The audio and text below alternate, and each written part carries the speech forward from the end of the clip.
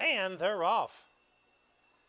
The lead on the outside is Sprinklehead, shows good speed down against the rail. That is Ambassador Mike as they pass the stands for the first time. Far outside, Pour Me a Double, down against the rail, Joe Burr. Smack dab in the middle is He Reigns. I've got Nashetta.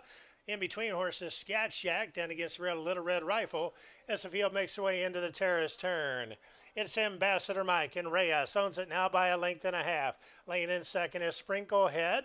Two lengths back to Pour Me a Double in the third spot. Down against the rail, Joe Burr is going to need a way through, getting in a little bit tight. We got He Reigns smack dab in the middle, and the far outside in the pink silks, Nashetta, a length and a half back. Right in between runners, that is Scat Shack in the yellow cap. To the far outside, Lutz Angel. Then we go back to the trailer.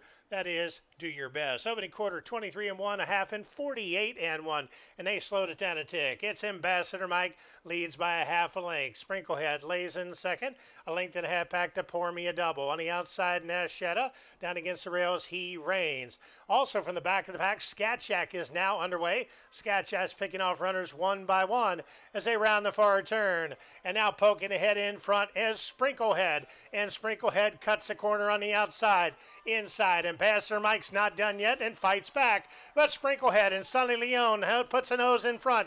Inside, that is Ambassador Mike. From the back of the pack, pour me a double. Ambassador Michael on the inside. Outside, Sprinklehead is on the move. And Sprinklehead's got a head in front. Sprinklehead's going to go on and score two on the car for Leon.